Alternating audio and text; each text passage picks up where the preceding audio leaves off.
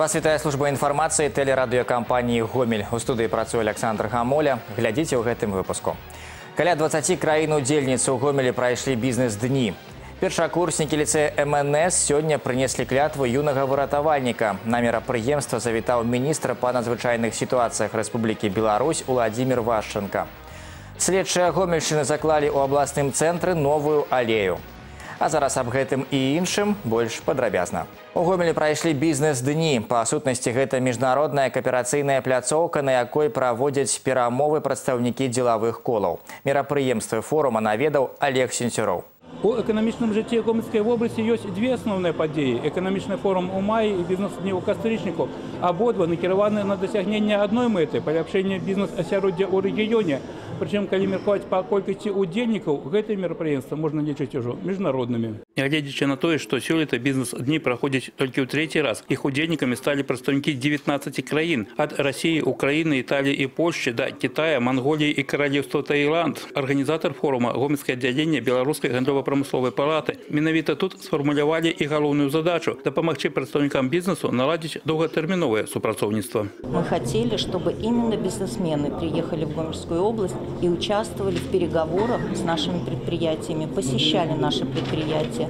И что важно, что в рамках бизнес-дней, готовясь к этому мероприятию, делегации заезжали намного заранее. И они уже приезжали неделю назад, уже приехали бизнесмены, проехали много предприятий, у них состоялось много встреч, и еще многие намечены. Это очень важно. Сёлетні бізнес-форум у гомлі выклікае павышаны інтарэс і па яшчэ адной прычыне. У Беларусі падпісаны шэраг указаў, накіраваных на актывізацыю дзелавой актыўнасці. Форум у гомелі павінен пацвердзіць іх эфектыўнасць. Прычым тычыцца гэта не толькі новых партнёраў. Супрацоўніцтва Рэспублікі Беларусь і сацыялістычнай рэспублікі В'етнам працягваецца не першы год, але зараз яно выходзіць на новы ўзровень. Калі летась тавараабарот паміж краінамі складаў каля 120 мільёнаў долараў, то сёлета павінен дасягнуць ужо 200 і ў далейшым працягне расці. Два президента обещали обещали, что он торговли обязательно достиг какой-то 500 500 миллионов долларов в ближайшие годы. Вот такая обстановка торговли между Вьетнамом и Республикой Беларусь. Прадпрыемствам гомельскай вобласці сёння сапраўды ёсць што прапанаваць патэнцыяльным партнёрам. Прычым размова можа ісці як аб традыцыйнай прадукцыі, якая ўжо пацвердзіла сваю якасць, так і прынцыпова новых распрацоўках у акцыянерным таварыстве светлагорск хімвалакно асвоілі вытворчасць матэрыялаў, якія маюць вельмі шырокі спектр выкарыстання ад спартыўнага адзення да аэракасмічнай прамысловасці. Этот материал состоит из углерода, чистого углерода, 99,6% углерода. Вот разогреваю, как металл разогревается, но ничего с ним не происходит. То есть это очень высокая теплозащита. Такой материал выпускает в мире только три страны. Америка немножко, во Франции чуть-чуть и в Беларуси. Афіцыйна кастрычніцкі бізнес-форум у гомелі працягваецца адзін дзень, але шмат хто з удзельнікаў кажа, што затрымаецца ў Беларусі яшчэ на нейкі час. Ажыўленне сусветнай эканомікі і паляпшэнне дзелавога асяроддзя ў Беларусі пачынае прыносіць станоўчыя вынікі. Олег Сенцюроў, Валерый Капанько, тэлерадыокампанія Комель. Традыцыйна напярэдадні восеньскіх канікулаў сям'я ліцэя пры інстытуце грамадскай абароны МНС Беларусі папоўнілася. Першакурснікі прынеслі клятву юнага выратавальніка. Міністр па надзвычайных сітуацыях Беларусі Владзімир Вашенко заўсёды прысутнічае на гэтай урачыстай цырымоніі. Ён асабіста знаёміцца з тымі, хто хутка стане ў рады ведомства. Сведкамі прынясення клятвы сталі старэйшыя таварышы новаспечаных ліцэістаў, педагогі і вядома ж бацькі.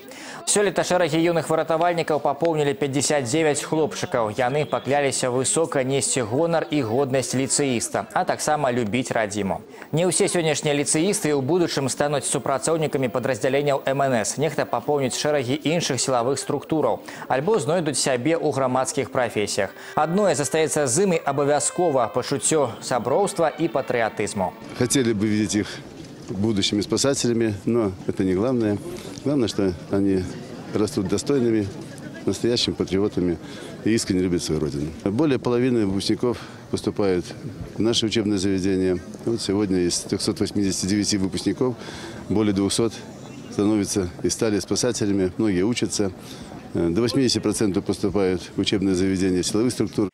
У Гомелі падвялі вынікі конкурсу на званне лепшага інспектара прапаганды МНС, які прадставіць нашу вобласць на рэспубліканскім конкурсе. За перамогу ў ім змагаліся 11 удзельнікаў з раённых падраздзяленняў. На працягу года інспектары прапаганды і ўзаемадзеяння з грамадскасцю МНС праводзяць каля 200 мерапрыемстваў па навучанні насельніцтва правілам бяспекі. Выступаюць у працоўных калектывах, на сельскіх сходах і ў навучальных установах. Таму адным з этапаў конкурсу было аратарскае майстэрства міністэрства. Акрамя гэтага сярод удзельнікаў правялі тэсціраванне на веданне нарматыўных дакументаў і папрасілі напісаць артыкул прапагандысцкай тэматыкі. У номинации «Журналистское расследование» удзельники отказали на каверзное пытание корреспондента. Сегодня, конечно, инспектор пропаганды должен быть э, человеком творческим, обладать ораторским мастерством, уметь работать на камеру, писать статьи. Так, например, вот в конкурсе «Визитная карточка» каждый участник через музыкальное, художественное, театральное или даже спортивное представление расскажет о себе и своей работе. В конкурсе, например, «Инновационный социальный проект» будет представлен инновационный подход в решении актуальных проблем в области пропаганды безопасности жизнедеятельности. По выніках двух дзён спаборніцтваў трэцяе месца дасталася Александру Цяплінскаму са Светлагорскага района. Другое Виктору Кійко з Рэшыцы. Лепшай у прафесіі назвалі Вераніку Матусевіч з гомельскага района, якая працуе ў сферы прапаганды бяспекі жыццядзейнасці больш за чатыры гады. По распределению сразу попала в этот отдел э, и именно в это направление. И была очень рада, потому что действительно мне очень нравится работать с детьми, работать с населением, Э, с разными категориями населения. Ну, пропаганда безопасности жизнедеятельности сейчас приоритетное направление. Главное, наверное, научиться э, находить подход к разным категориям населения, потому что с детьми надо определенным образом заниматься, э, с трудовыми коллективами, то есть со взрослым населением э, тоже свои есть нюансы. У гэтыя дні ў гомелі праходзіць 10 краязнаўчы семінар адкрыць Германію. Сёлета яго арганізавалі на базе беларускага гандлёва-эканамічнага універсітэта спажывецкай кааперацыі. Семінар наведаў пасол Федэратыўнай рэспублікі Германія Петр Детмар.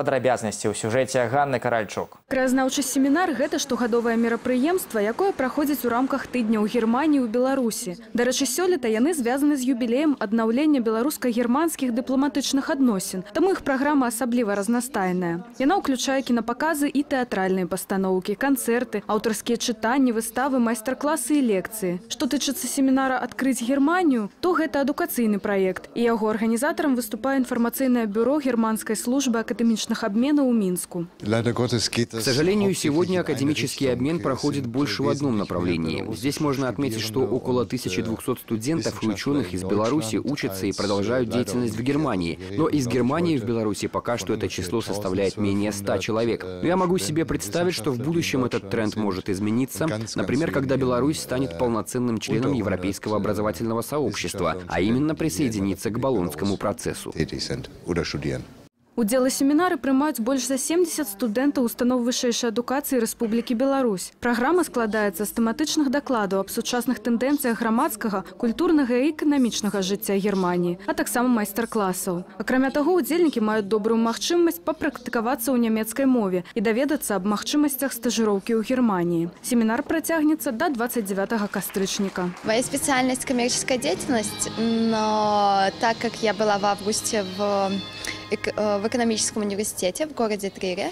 Я получила стипендию от немецкой службы академических обменов. Эм, посетила Германию, получила огромный опыт. Я проходила отборочный тур, подавала мотивационное письмо, собирала все свои документы.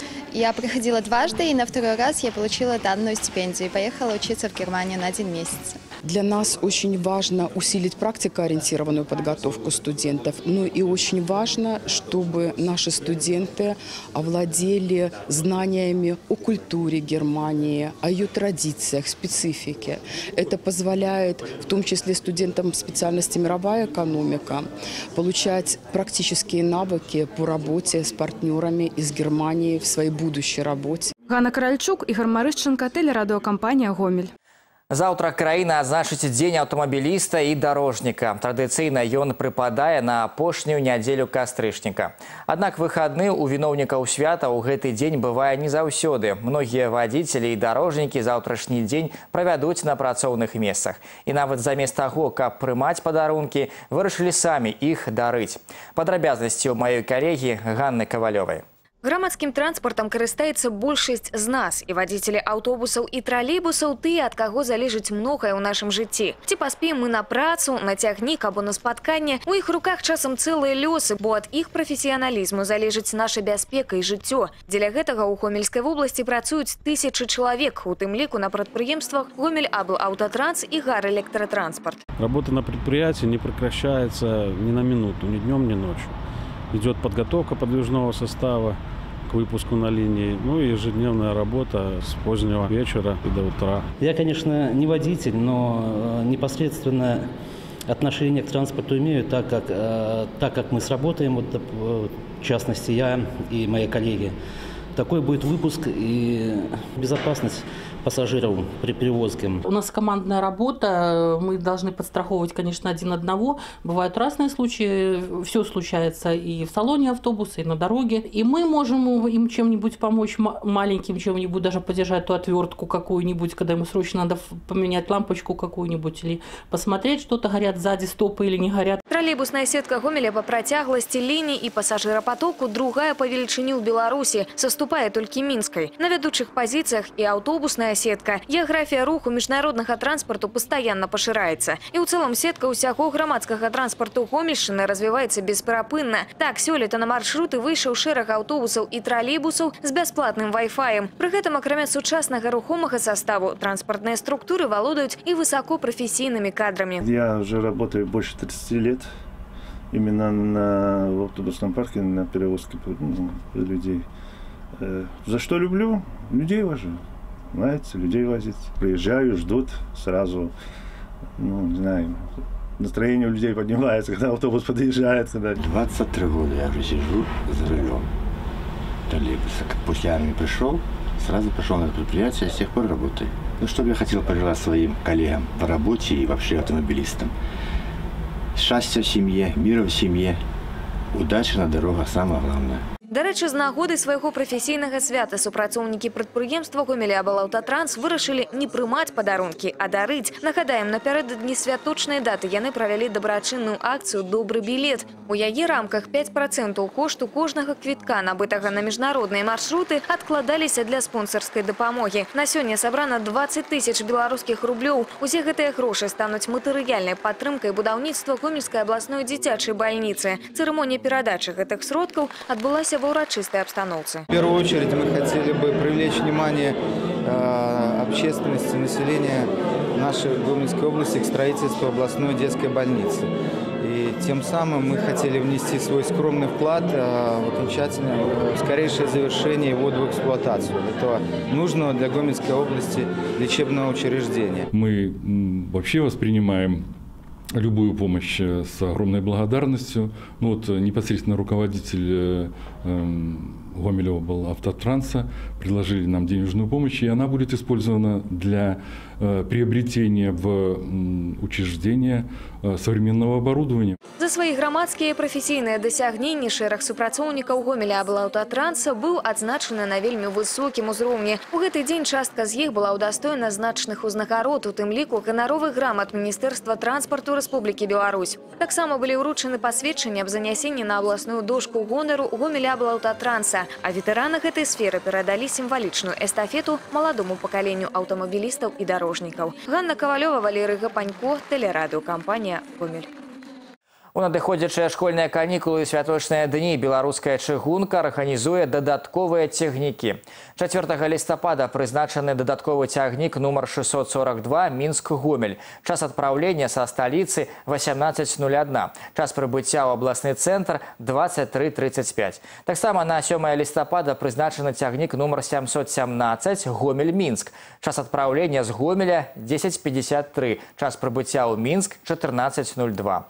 6 і 7 лістапада будуць курсировать цягнікі нумар 801 і 802 мінск вільнюс мінск больш падрабязную інфармацыю можна атрымаць на сайце беларускай чыгункі Следчыя гомельчыны заклалі ў абласным цэнтры новую алею. Яе месца вызначылі яшчэ ў верасні гэтага года, калі з нагоды шостай гадавіны заснавання следчага камітэта Рэспублікі Беларусь у парку фестывальны быў усталяваны памятны знак. Гэта вялізны камень з адпаведнай таблічкай. Зараз жа каля яго кіруючы састав абласной структуры і следчыя высадзілі першую партыю саджанцаў 20 ліп і клёнаў. Дарэчы, на гэтым ландшафтныя работы не спыняцца, працягнуць азеляненне плану плануецца будучай вясной. Сумесна з прадстаўнікамі ўлады следчыя правядуць дадатковае акультураванне гэтай зоны, высадзяць яшчэ одну партию декоративных кустов и дрэваў. Это место станет для нас уже знаковым э, в проведении различных мероприятий, принесения присяги, возложения значит, венков, э, значит, работа с молодым поколением, в том числе с учащимися юридических классов, которые открыты э, в этом году под эгидой Следственного комитета.